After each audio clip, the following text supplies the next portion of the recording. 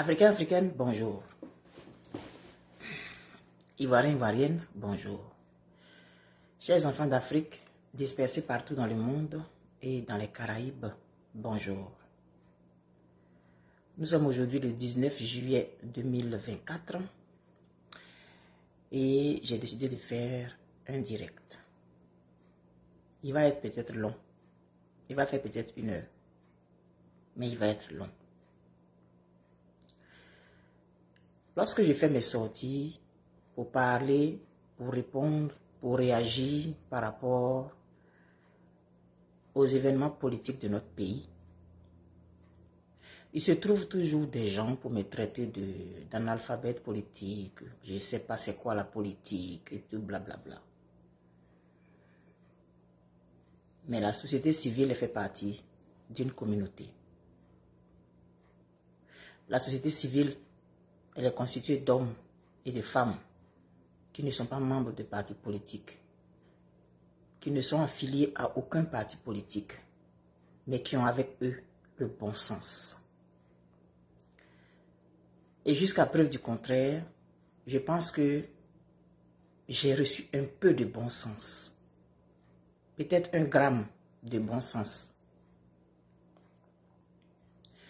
Il y a longtemps que nous sommes sur la toile on fait des vidéos, les gens font des sorties, on réagit comme on peut, etc. etc. Mais moi, j'ai toujours prôné le respect mutuel, la courtoisie entre nous, la considération entre nous et la mesure. Même quand on est en colère, on peut dire ce qu'on a à dire, mais avec mesure respect pour l'autre. Je ne suis pas une sainte, je ne suis pas la plus brillante des réseaux sociaux, je ne suis pas la plus intelligente, mais je suis là. Et j'ai fait ma place. J'ai mon public. Aujourd'hui, je vais réagir. Le titre de la vidéo, c'est « Et le asseyons-nous et discutons » du président Gbagbo. Est-ce que c'est relégué au calendrier grec? C'est ça le titre de ma vidéo. Je vais répondre à certains impertinents. À certaines personnes qui ont du poids chiche dans la tête et non un cerveau. À certaines personnes qui se prétendent être de grands politiciens, de grands politologues et de quoi quoi. C'est à ces personnes-là que je vais répondre. À ma qualité de simple citoyenne, en ma qualité de simple personne ordinaire. Oui, je suis une personne ordinaire. Je n'ai suivi aucune formation politique. Je n'ai suivi aucun cours politique. Et je répète que je pense que j'ai mon bon sens avec moi. Heureusement, aujourd'hui, les réseaux sociaux existent. On fait des vidéos qui gardent les traces de nos pas. Des vidéos, j'en ai fait plein. Des vidéos pour appeler à la cohésion autour de la Côte d'Ivoire. J'en ai fait plein. Et j'ai fait des dernières vidéos pour demander à tous les partis politiques, à toute la force politique ivoirienne de se retrouver autour du président Laurent Gbagbo pour qu'il soit le candidat pour fermer la parenthèse qui, de cette parenthèse honteuse qu'on traîne depuis des années parce qu'il est l'un des témoins, l'un des acteurs de, cette, de, cette, de ce passé récent politique de notre pays. Si je vais présenter toutes les vidéos que j'ai eu à faire sur ce sujet-là, on en a jusqu'à demain. Parce qu'il y en a beaucoup. Dieu merci, les réseaux sociaux existent. Donc je peux documenter ce que je dis. Ceux qui se prétendent être des grands stratèges politiques, des grands, des voix autorisées pour parler au nom des, des différents partis politiques de Côte d'Ivoire, ce sont des gens qui réagissent toujours de façon spontanée, de façon, de façon épidermique devant, les, devant mes vidéos. Mes pauvres petites vidéos sans intérêt. Trêve, mon introduction est finie. En 2002, en 2022, J'ai fait une vidéo que je vais vous présenter, elle dure 20 minutes. Vous qui êtes là, je vous prie de l'écouter de bout en bout. Et puis je vais faire, euh, faire ma conclusion.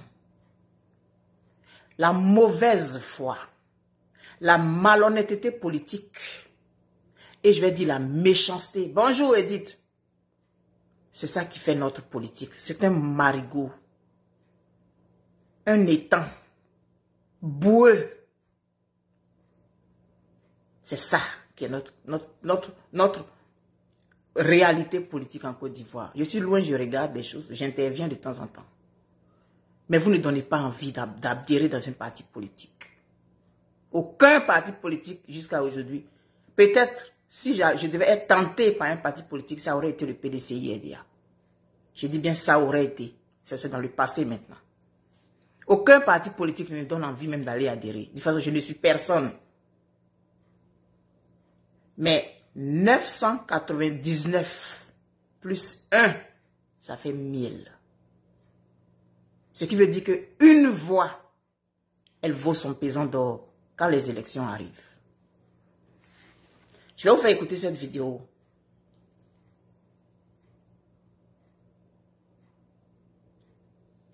Africain, Africain, bonjour. Ivoirien, Ivoirienne, bonjour. Chers tuteurs et chères tutrices, bonjour. Chers enfants capables de Côte d'Ivoire, d'Afrique, des Caraïbes et de partout dans le monde, bonjour. Nous sommes aujourd'hui samedi 26 février et j'ai envie de m'entretenir avec vous sur un certain nombre de choses. Il arrive des fois que je fais des publications, que je dis que, bon, euh, je ne vais plus aborder tel sujet, tel sujet, mais on dirait que c'est plus fort que moi. Il faut toujours que j'y revienne. J'aime beaucoup utiliser les animaux, j'aime beaucoup utiliser les faits naturels pour m'exprimer. Et donc, euh, j'ai déjà utilisé ça il n'y a pas longtemps. Le coq, son rôle, c'est de chanter le matin. Mais il n'est pas le premier à se réveiller. Il y a d'autres animaux qui se lèvent bien avant lui. Et les femmes, généralement, ce sont elles qui se lèvent les premières, mais il y en a qui se lèvent avant le coq. Et on a décidé que, la nature a décidé que c'est à partir du chant du coq qu'on considère que le jour s'est levé. C'est son rôle de chanter. Mais quand il chante, il y en a qui, il y a deux animaux qui ne se lèvent pas. Quand il chante, il y a des femmes qui entendent mais qui ne se lèvent pas. Donc, les gens ne sont pas obligés de se lever quand le coq chante. Le coq, son rôle, c'est de chanter. Peu importe si on se lève ou pas. Et moi, je me considère comme étant un coq. Alors, je vais chanter aujourd'hui. Encore une fois, ça fait un moment que je fais un certain nombre de publications. Je vais chanter encore. Si mon chant n'est pas entendu, ça ne sera pas plus grave que ça. Mon rôle, c'est de chanter. Mais avant moi, il y a des gens qui se sont levés avant. Il y a des gens qui sont plus autorisés que moi pour dire que le jour s'est levé. Mais mon rôle, c'est de chanter. Alors, je vais chanter. Que celui qui a envie d'écouter mon chant l'écoute et se lève. Que celui qui n'a pas envie d'écouter mon chant reste couché. Je chanterai quand même. Parce que c'est mon rôle. J'ai fait des recherches, j'ai envie d'envoyer un message, comme toujours, j'utilise soit des comptes ou j'utilise les faits de la vie courante, mais là, je vais me, servir d'une histoire réelle, l'histoire de l'humanité. Je vais utiliser ça et après, vous allez comprendre pourquoi. Et j'ai fait mes recherches, j'ai pris des notes pour ne pas oublier, parce que j'ai fait vraiment la synthèse de ce que je vais vous raconter, et pour ne pas oublier une miette, je préfère lire ce que j'ai écrit. Suite aux, recherches que j'ai faites, j'ai fait des recoupements et j'ai pris des notes. Je vais vous lire ça. Et puis après, on va aller là où je voudrais qu'on aille. Au lendemain de la Deuxième Guerre mondiale, en 1949, l'Allemagne sera divisée en deux parties. Il y aura d'un côté la République fédérale d'Allemagne à saveur américaine, anglaise et française, et de l'autre, la République démocratique d'Allemagne un relent soviétique. Cependant, pendant près de dix ans, les Allemands de l'Est vont s'enfuir par millions vers l'Allemagne de l'Ouest, où la vie est beaucoup mieux. Ces deux pays, nés d'un seul, vont se regarder désormais comme des ennemis. Les autorités de l'Est vont à un moment donné se rendre compte de l'hémorragie. Ils vont subir un problème de main-d'œuvre, vu que les cerveaux s'enfuient vers l'Ouest voisin. Il faut trouver une solution. Sinon, bonjour la crise économique qui pointe son nez. L'Ouest va se développer rapidement, contrairement à son ex-frère. Peut-on dire ex-frère? Non, on ne dit pas ex-frère, il n'y a pas ancien frère. Mais des familles entières vont se retrouver du jour au lendemain, des gens de pays différents. Certains ne se verront plus jamais. Tout ça pour la politique et les intérêts géopolitiques. Les Allemands de l'Est vont considérer ceux de l'Ouest comme clandestins quand ils vont se retrouver de l'autre côté. Il faudra donc avoir des permissions ou des papiers pour passer de l'un à l'autre côté. Mais le côté le plus sévère était celui de l'Est. Pendant donc près de 30 ans, ce sera comme ça. Même territoire, mais désormais étranger l'un ou l'autre. Cette fuite massive donc de cerveau vers l'ouest va déranger sérieusement les dirigeants de l'Est. Il va falloir donc, comme j'avais dit, trouver une solution. Il faut préciser que la ville de Berlin, démilitarisée, permettait cet exode massif vers l'ouest car les conditions étaient plus souples dans la ville. Il faut donc empêcher cela. C'est pourquoi, dans la nuit du 12 au 13 août 1961, un mur sera érigé en pleine ville de Berlin. Il y aura donc désormais l'Allemagne de l'Est et l'Allemagne de l'Ouest, mais il y aura aussi Berlin-Est et Berlin-Ouest. Cela va commencer par des barbelés dans cette nuit-là et la mobilisation de près de 15 000 militaires côté Est pour barrer toutes les voies. Des maçons vont être appelés en renfort. Tout ce qui est porte, fenêtre, balcon donnant sur l'ouest sera fermé par du ciment. Plus de passoires, plus de passages, fini, terminé, basta. Le chemin vers l'ouest sera définitivement fermé. Ainsi, pendant près de 30 ans, encore une fois, pour cause de politique et d'intérêts stratégiques, des sentiments, de sentiments personnels, d'ego des frères vont devenir des ennemis. Puis, les années 80 vont arriver avec la présence de Mikhail Gorbachev à la tête de l'URSS. Il va impacter la zone et va décrisper l'atmosphère. Les pays aux alentours vont réclamer et obtenir leurs indépendances. Ainsi, l'Union des républiques socialistes soviétiques va commencer à s'émietter. Les vents de l'Est vont souffler sur le monde. Des milliers de personnes vont manifester à l'été 1989 côté Est. Les manifestations vont s'intensifier jusqu'à la nuit du 9 au 10 novembre 1989 par le bris du mur de Berlin, symbole de la séparation d'un pays de deux blocs de deux idéologies. Ce sera la chute du mur de Berlin. Je venais de faire, de donner naissance à mon premier fils, qui est né en octobre 89. Et là, on était en novembre. Vous comprenez pas très bien, on avait vu ça à la télévision, c'était historique, les gens pleuraient, chacun voulait avoir un, un morceau de ce mur de Berlin là, mais on n'était pas vraiment conscients, nous autres, de ce qui venait de se passer dans le monde. Ainsi donc, le symbole est tombé. Les Allemands de l'Est vont passer à l'Ouest et vice-versa. Des gens vont se retrouver, des gens séparés depuis près de 30 ans. Les Allemands de l'Est et de l'Ouest vont entreprendre ensemble alors de casser ce mur, le mur de la honte. Les deux Allemagnes seront réunifiées. Puis, en octobre 1990, ce sera officiel. Les deux Allemagnes vont redevenir l'Allemagne tout court. 30 ans de séparation au nom de la politique, mais surtout de l'ego des gens à la tête des blocs. Ces vents de l'Est ont impacté aussi nous autres, Africains, au point de permettre à Laurent Gbagbo et Simone Gbagbo d'obtenir en 1990 le multipartisme en Côte d'Ivoire. Il y a eu aussi la libération de Nelson Mandela dans la foulée. En juillet 1990, lors de la Coupe du Monde en Italie, l'Allemagne de l'Ouest a remporté la Coupe du Monde, mais c'était la fête des deux Allemagnes réunifiées. C'était tout un symbole.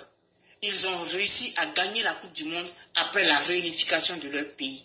C'est un message qui est envoyé à l'univers. Nous sommes aujourd'hui 26 février 2022 et depuis un moment, je fais un certain nombre de publications. Près de 30 ans, un pays a été divisé par la politique. Un mur a été construit. Des kilomètres et des kilomètres, des centaines de kilomètres de murs ont été construits. Des gens sont devenus du jour au lendemain des ennemis. Le 17 juin 2021, euh, le président Gbagbo est rentré en Côte d'Ivoire après dix années de déportation. Ce que nous avons vu à l'aéroport a choqué tout le monde. J'ai été choqué aussi, comme tout le monde. Et depuis, on a observé un certain nombre de choses. Le président Gbagbo a créé son parti politique, qui est le PPACI. Madame Simone Gbagbo a aujourd'hui le mouvement des générations capables. Et puis chacun, ça va de son côté, ça s'affronte, ça dit des choses sur les réseaux sociaux, ça rentre dans les caleçons, ça rentre dans les, dans les soutiens, ça rentre dans les jupes, dans les pantalons, dans les pagnes. Est-ce qu'on n'a pas honte de ça? On n'a pas honte du spectacle que nous offrons au monde Que nous venions, qu'on soit simoniste ou baboïste, qu'on vienne sur la toile répandre des choses qui ne nous concernent vraiment pas, est-ce que nous n'en avons pas honte? Aujourd'hui, je vais lancer mon chant. Je suis un coq. Mon rôle, c'est de chanter. Et je vais chanter. Je vais essayer de transposer ce qui s'est passé en Allemagne, là, dans notre situation. Aujourd'hui, des anciens frères, des anciennes sœurs, est-ce qu'on peut dire anciens frères Est-ce qu'on peut dire anciennes sœurs Non. Des gens qui, ont, qui avaient à un moment donné la même idéologie ont construit un mur entre eux. Pour Berlin encore, on voyait c'était matérialisé. Mais il n'y a pas de mur il y a un mur d'ego, un mur de moi qui aujourd'hui sépare Simone de Laurent. Moi, je parle de remettre ces deux ensemble. Je ne parle pas de couple. Je ne parle pas de matelas, je ne parle pas de drap. Non. C'est un couple idéologique, c'est un couple politique. Je mets les pieds dans le plat. Ceux qui sont à la tête des deux groupes des deux factions, est-ce que vous ne pouvez pas vous asseoir et puis parler? Aujourd'hui, il y a des gens qui disent qu'ils ne comprennent pas que je dise que euh, moi je souhaiterais que le président Gbagbo et Madame Gbagbo se remettent ensemble. Parce que j'ai fait le challenge IV capable. Mais vous n'avez rien compris du challenge IV capable. Je l'ai dit plusieurs fois. Le challenge IV capable n'a pas été créé pour régler des problèmes de foyer. Il n'a pas été créé pour départager ou bien se mettre entre des gens. Pas du tout. Une dame était vilipendée sur la toile. La dame là, c'est l'épouse du président Laurent Gbagbo. Alors, le challenge a été lancé pour la rehausser, pour la réhabiliter. Ce n'était pas pour aller régler des problèmes de foyer, pour aller signer l'acte de divorce de Laurent et Simone, pour aller signer l'acte de je ne sais pas quoi, de quoi. Non, vous n'avez pas compris le sens de ce challenge. Qu'on soit simoniste, qu'on soit gbagboïste, vous n'avez pas compris le sens de ce challenge. J'ai jamais été contre le président Laurent Gbagbo. Pas du tout. Ce couple-là, c'est un couple qui m'a impacté. Et des milliers de personnes aujourd'hui sont déboussolées parce que ce couple n'est pas ensemble, mais c'est sur le plan politique. Est-ce que vous pensez que ces deux-là, à leur âge aujourd'hui, là, s'ils se remettent ensemble, c'est pour aller faire cric-crac sous le drap, dans leur chambre? Ils ont dépassé ce stade-là. À qui ça profite aujourd'hui que Mme Gbagbo soit d'un côté et que M. Gbagbo soit de l'autre? Regardez aujourd'hui la politique en Côte d'Ivoire.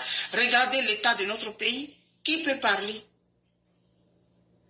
Donc les différents états-majors, au lieu de continuer avec la hache de guerre, asseyez-vous. Réfléchissez à la Côte d'Ivoire. Parce que c'est la Côte d'Ivoire qu'il faut voir. Moi, c'est la Côte d'Ivoire que je regarde. C'est un couple politique. C'est une bombe politique, ces deux-là. Aujourd'hui, chacun de son côté. Mais chacun n'est pas fort. Il faut qu'on arrête de se blaguer. Chacun n'est pas fort de là où il est. Parce qu'ils ont été créés pour être ensemble, pour mener un combat pour le pays. Et si on regardait le pays, et si on regardait la Côte d'Ivoire, qui a intérêt à ce qu'aujourd'hui Simone aille de son côté et que le président Gbagbo aille de son côté? Vous qui dites que vous avez aimé le président Gbagbo Laurent pour son idéologie, quand vous le regardez aujourd'hui là, il ressemble à Gbagbo que vous avez connu là? Réfléchissez un peu s'il vous plaît. Quel intérêt vous avez aujourd'hui, vous qui vous dites pro-Gbagbo, de crucifier Simone Quel intérêt vous avez, vous qui êtes les pro-Simone aujourd'hui, de crucifier le président Gbagbo? Vous, Ça vous donne quoi? Parce qu'au-delà de ce que moi je dis là, je ne suis pas là en train de faire des... Ce n'est pas un combat de, foyer, mais au-delà de tout ça, c'est un couple physique qui ont des enfants ensemble. Donc quand vous faites ces combats-là, vous mettez les enfants là où? C'est des adultes. C'est des adultes qui ont des enfants aussi. Donc ils sont les parents de deux jumelles, ils sont les grands-parents de même petits-enfants. Ça veut dire qu'on laisse la politique. Et puis on va sur ce, terrain-là. Qu'est-ce que vous avez à vous immiscer comme ça, à prendre position à insulter Simone ou à insulter Laurent? Et leurs enfants? Vous voulez que les enfants fassent quoi dans tout ça? Vous voulez que les enfants choisissent entre les deux? Puisque vous vous dites que vous avez choisi. Moi, je ne choisis pas entre les deux. C'est la Côte d'Ivoire que j'ai choisi. Et je sais que ces deux-là ont une vision ensemble. Si chacun va avec sa vision d'un côté, cette vision de la Côte d'Ivoire ne va pas s'accomplir. Une cola, c'est deux moitiés ensemble. Ce n'est pas une moitié de cola. Donc moi, je lance cet appel-là aujourd'hui et je mets les pieds dans le plat. Des milliers de personnes ont envie de voir ces deux-là mener la vision qu'ils ont pour la Côte d'Ivoire là, ensemble sur le plan politique. Si les Allemands se sont remis là, c'est pas ça là qui va changer, qui va, on peut pas faire. De 1949 que l'Allemagne a été divisée en deux territoires distincts. Et en, 1961, un mur a été construit pour les séparer. En 89, ils ont cassé ce mur. Ce n'est pas nous à faire de 17 juin là. Ça fait même pas un an. On ne peut pas s'asseoir pour parler. 30 ans, près de 30 ans. Donc, il y a des gens qui sont nés en Allemagne en 1961. Ils avaient près de 30 ans quand le mur a été cassé. Donc eux, ils n'ont même pas vu l'époque de, l'Allemagne réunifiée. Et il y en a qui sont nés aujourd'hui, qui sont nés à partir de 89, comme je dis, mon fils est né. Eux, ils connaissent l'Allemagne réunifiée. Donc on va leur parler de l'Allemagne séparée, là, ils ne sauront même pas c'est quoi. Près de 30 ans, les gens se sont séparés. Ils ont tué même d'autres. Ceux qui voulaient fuir, quand on les prenait à la frontière, on les tuait. Des gens ont été emprisonnés, des milliers de personnes ont été emprisonnées. Ceux qui voulaient fuir pour aller à l'ouest. Aujourd'hui, l'Allemagne est réunifiée. C'est ce que nous, on ne peut pas faire. C'est ce que la Côte d'Ivoire ne peut pas faire. Il n'y a pas de personnes assez sages et assez âgées en Côte d'Ivoire pour faire asseoir les deux factions-là, pour faire asseoir les deux personnes-là, et puis parler pour la Côte d'Ivoire. Il n'y en a pas, ça n'existe pas. Moi, je suis trop petite. Laurent et puis Simone, ils peuvent me mettre au monde. Je ne peux pas leur parler comme si je parle à des, gens de, dont je suis, plus âgé. Même les gens qui sont, dont je suis plus âgé, je leur parle avec respect, à plus forte raison. Je ne m'adresse pas à eux, hein. je m'adresse à leur, leur bataillon là, qui ne veulent rien comprendre, qui sont prêts à découdre. C'est-à-dire que toi, tu as fait pagne et il est capable, tu ne dois pas parler avec quelqu'un qui dit qu'il est, il est babo. C'est que tu es traite, tu veux tuer Simone. Essayons de lever un peu le niveau du débat, s'il vous plaît, frères et sœurs. Et pensons à la Côte d'Ivoire. Faisons ce que nous pouvons faire pour faire asseoir, aplanir les, difficultés et puis faire en sorte que ces deux-là puissent se regarder dans la même direction politique pour la Côte d'Ivoire. C'est quoi qu'on n'a jamais vu dans ce monde? C'est quoi on n'a jamais vu dans ce monde qu'on ne peut pas régler? C'est quoi on n'a jamais vu dans ce monde qu'on ne peut pas s'asseoir pour dire, bon, on a fait, on a dit, on a oui, oui, oui, moi ça, ça m'a fait mal, ça m'a... Oui, mais et la Côte d'Ivoire? Parce que ce que les deux groupes-là, je ne parle pas de Simon ni de Laurent, hein, mais les états-majors, c'est eux qui mettent le feu aux poudres. Les deux là, ils n'ont encore rien dit. Le président Gbagbo, il sort, il fait des déclarations. Quand il fait une déclaration, bouh, ça rue dans les, brancards, ça crie à gauche et à droite. C'est Laurent Gbagbo que vous connaissez là, là, là. Quel intérêt nous avons aujourd'hui à regarder ces deux-là aller en rang dispersé? C'est qui qui va perdre? C'est la Côte d'Ivoire. Donc nos générations, nos enfants, nos petits-enfants qui viennent, c'est eux qui vont en partir. Faisons en sorte pour que ces deux-là se mettent ensemble, pour que la vision qu'ils avaient pour la Côte d'Ivoire, s'accomplisse. Une moitié de cola n'est pas une cola. J'ai fait ma vidéo. Je lance mon pollen dans l'air. Si ça tombe dans la bonne terre, ça va fleurir. Si ça tombe dans la mauvaise terre, ça va sécher. Je lance mon chant du coq. Je prends mes responsabilités de citoyenne aujourd'hui et puis je viens, je parle. Celui qui veut interpréter ça comme il veut, libre à lui. Mais quand je parle de Simone et Laurent et que je dis qu'il ne faut pas qu'on sépare ce qui a été uni pour une mission, je ne parle pas de drap de lit, je ne parle pas de chambre, je ne parle pas de matelas. Je parle d'une vision commune que ces deux-là avaient, une vision politique. C'est un couple politique. Si les gens ont réussi à casser le mur de Berlin, les Allemands de l'Est et les Allemands de l'Ouest se sont un jour assis, ils ont dit c'est bon, ils ont cassé leur mur, c'est pas pour Simone et Laurent là qu'on ne peut pas régler. Aujourd'hui, l'Allemagne est un grand pays parce qu'ils ont su taire les différents égaux. Il est temps que la Côte d'Ivoire songe à ça. Merci. Africain, africaine, bonjour. Voilà donc la vidéo que j'ai faite le 26 février 2022. C'est la même Eben Boani là qui est là et qui parle encore. J'ai fait une sortie suite. J'ai fait une sortie suite euh, à l'appel de Benoît, du président Laurent Gbagbo, qui demande à tous ceux qui veulent que la Côte d'Ivoire soit ceci, cela, de le rejoindre. Et j'ai fait une sortie. Oui, moi je suis très courageuse. J'ai fait une sortie pour dire au président Laurent Gbagbo que c'est pas comme ça. C'est pas comme ça si vous voulez régler vos différends, ou bien non, si vous voulez que les gens se joignent à vous pour regarder dans la même direction, il y a des choses qu'il faut faire avant. Paf, ça sort de partout. Les spécialistes en politique, les stratèges et blablabla. Bla bla. On n'a pas besoin de préalable. Ah bon? Si je voulais présenter toutes les vidéos que j'ai faites, on allait d'ici jusqu'à demain.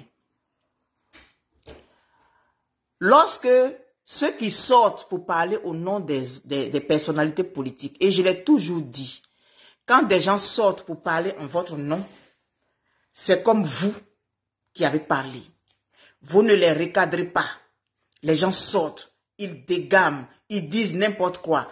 On va même jusqu'à euh, euh, insulter le physique de Mme Gbagbo, des gens qui se disent proches du président Laurent Gbagbo. Et les gens qui sont proches de Mme Gbagbo aussi, ils sortent, ils viennent insulter le président Laurent Gbagbo. Ils parlent de son physique, ils parlent de ses parties intimes. Et puis, il n'y a rien. Et puis, on ajoute blé goudé dedans aussi. Mais quand des gens sortent pour parler en votre nom, et que vous ne les recadrez pas, c'est que vous êtes d'accord avec. Que ce soit Mme Gbagbo, que ce soit le président Gbagbo, que ce soit blé goudé.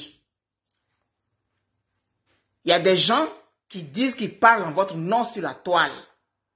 Vous êtes sur la toile. Vous avez des gens qui sont sur la toile. Vous avez des membres de vos familles qui sont sur la toile. Donc si vous-même, vous, n'avez pas de compte, ce qui est vraiment extraordinaire aujourd'hui, vous avez des membres de vos familles qui sont sur la toile, qui voient ce qui se passe. ils ne vous parlent pas? On va venir sur la toile ici, faire vidéo, parler de Manangbagbo, rentrer dans ses dessous, donner des informations soi-disant sur elle, sur ceci, cela, et puis il n'y a rien. Mais vous aimez le président Gbagbo là. Et puis c'est de sa femme que vous venez parler comme ça. C'est que vous n'aimez pas le monsieur. Parce que si l'homme que vous avez déifié aujourd'hui, pour vous, Gbagbo, c'est un dieu. Il ne se trompe pas. Il ne fait pas d'erreur. Moi, Gbagbo, là, c'est un humain pour moi. Donc, il peut faire des erreurs. Je sais que le président Gbagbo, là, il va aux toilettes comme moi. Il est constipé des fois comme moi. Il a la diarrhée comme moi. Je ne peux pas le défier. Et puisque moi, en tant qu'être humain, il est arrivé dans ma vie de prendre des décisions pas très bonnes, que j'ai eu à constater après, je sais que ça peut arriver aussi au président Gbagbo parce qu'il est un être humain comme moi. Il n'est pas mon Dieu. Il ne peut pas être mon Dieu.